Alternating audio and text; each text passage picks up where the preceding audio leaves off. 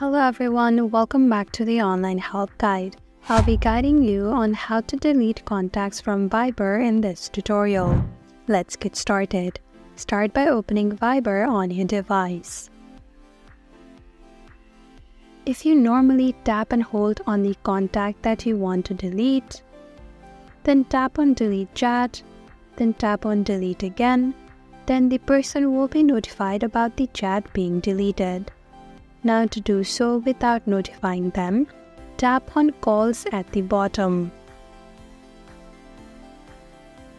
Here you can find all your contact list.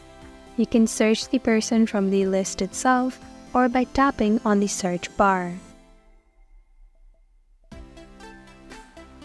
Now tap on their profile. Tap on Contact Info. Tap on the three dots at the top right. Tap on Delete. Then tap on Delete again to delete the contact. But do note that once you delete the contact in Viber, it will be deleted from your contacts as well.